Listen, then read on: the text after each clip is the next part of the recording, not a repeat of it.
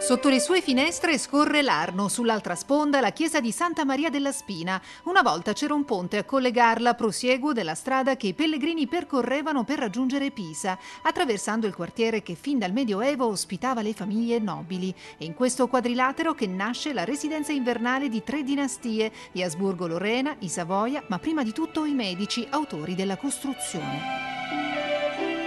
Decidono eh, nel 1583 di trasferirsi dalla vecchia sede di Pisa, che era eh, dove è attualmente il palazzo della prefettura, lì era il vecchio eh, palazzo dei Medici. Francesco I decide di costruire qui una nuova eh, dimora e iniziano appunto i lavori alla fine del 1583 e vengono tutto sommato finiti in, abbastanza velocemente con il progetto dell'architetto Buontalenti. Il palazzo oggi è in parte sede della sovrintendenza, in parte al piano nobile ospita le collezioni d'arte delle famiglie reali.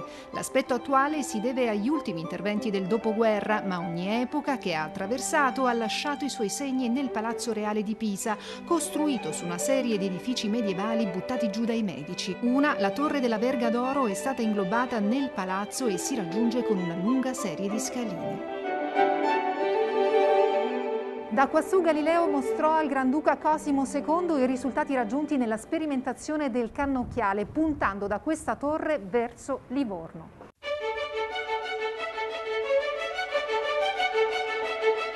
Nelle sale un tempo usate per pranzi e ricevimenti i ritratti di famiglia. In questo olio su tavola del 1549 Eleonora di Toledo tiene in braccio il figlio Francesco, fondatore del palazzo. Lo ha dipinto il Bronzino, pittore ufficiale dei Medici. I colori e la fattura dei vestiti si ritrovano nell'abito femminile che il museo espone insieme ad altre lavorazioni dell'epoca, un raro esempio ritrovato nel monastero di San Matteo. Siccome le monache riutilizzavano durante le rappresentazioni sacre, sacre per vestire le statue, probabilmente la statua di una, di una Madonna, ha fatto sì che l'abito si sia conservato quasi perfettamente e sia pervenuto ai nostri giorni nelle collezioni del museo. Gli arazzi con scene di caccia conducono nella sala dove nel 1786 Pietro Leopoldo emanò per la prima volta al mondo l'abolizione della pena di morte.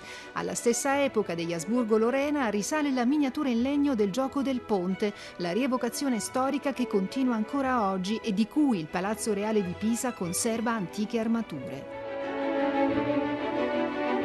Dopo le sale che abbiamo già attraversato, dove abbiamo visto esposti i ritratti delle famiglie che hanno occupato il palazzo, si passa eh, in queste altre sale dove invece trovano spazio dipinti che sono stati acquisiti nella collezione del museo più di recente.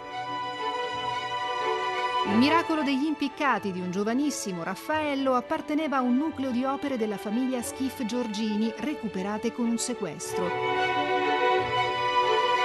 Della donazione del chirurgo marchigiano Antonio Ceci fanno parte oltre 200 dipinti con una predilezione per opere fiamminghe del Seicento. Un'ala del palazzo accoglie le sculture e i quadri di Italo Griselli, poliedrico artista toscano del primo Novecento.